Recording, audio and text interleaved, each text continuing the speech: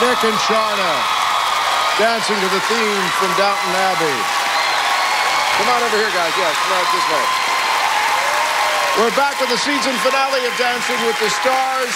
Already, it's been an incredible night here and with our neighbors at the Grove. What's the mood been like for you guys? I mean, we're coming to the end of months of incredible effort. What's it been like for you and the other couples today? It's been incredible today. The energy in the room and just everybody is so excited to be here. Everybody's worked so hard and we don't know who we want to win. Everybody deserves it and I'm just so proud of this one right here and the journey Nick, that he's had. Don't you want you to win? Do I want to win? Yeah. Heck yeah. I think he knows who he wants to win. Yeah. You don't have to be that generous. Let's welcome.